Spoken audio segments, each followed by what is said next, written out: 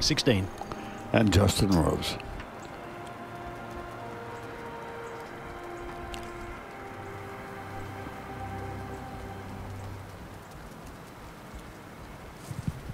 Well, this will be test passing three straight tests if he can get this one up and in.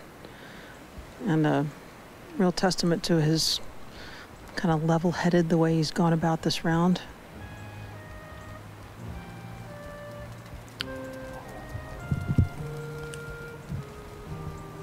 Now everybody's four and more behind Hideki. Mm.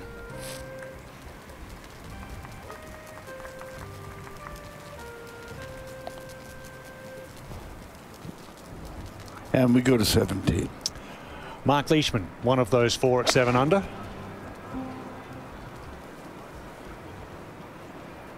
Beautiful swing. Flights his wedges so well.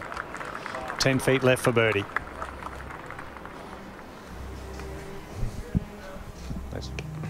This was 10 years ago today. Hideki made his way into Butler Cabin as a 19-year-old.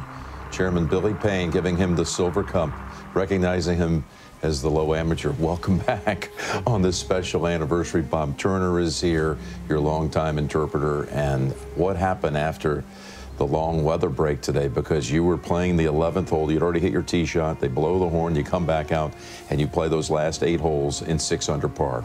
中断してからどうなりましたかってそうですね、まあ、中断して、えーまあ、悪いショットで終わったので、えーその後はグッドショットがずっと続いたので